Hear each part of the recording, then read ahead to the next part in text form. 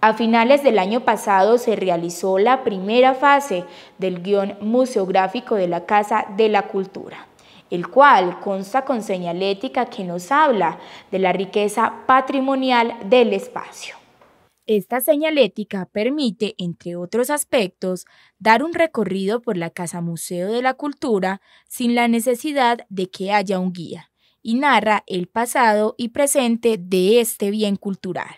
Eh, primero a la entrada de la casa museo se van a encontrar una, lo que llamamos una mampara de bienvenida, donde tenemos un plano de ubicación y una invitación a visitar la casa. Se les habla de que la casa es un espacio de todas y de todos, de que los museos son lugares participativos, vivos y en movimiento, y se integran algunas placas históricas que hay en, la, en el zaguán, que digamos pasan un poco desapercibidas, pero con este elemento museográfico resaltan, ¿cierto? Se les da un espacio y se, y se habla como un poco de ellas.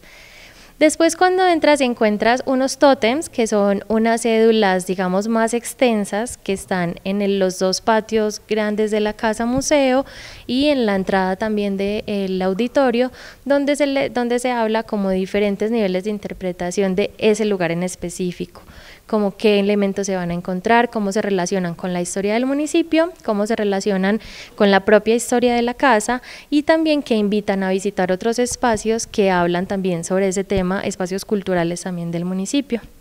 Esta primera etapa es la consolidación de un trabajo que se viene realizando hace varios años y que ha incluido a varios profesionales, esto en busca de fortalecer y proteger la Casa Museo de la Cultura continuaría una segunda fase. Estos son proyectos que vamos presentando en conjunto con la Casa de la Cultura y el equipo interdisciplinario.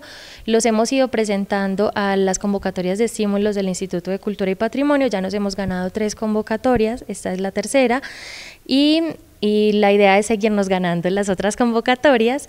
Eh, continuaríamos con una adecuación de la parte de exposiciones temporales de la casa. Como ven, tenemos como unos rieles, unos ejes metálicos a la pared, digamos que no es lo más adecuado para el montaje de las obras, entonces se mejoraría la iluminación, se mejorarían los rieles para el montaje de las obras y se ubicarían, digamos, otras mamparas que les llamamos, también para ubicación de información, de textos y de obra. Esa sería, digamos, una segunda fase.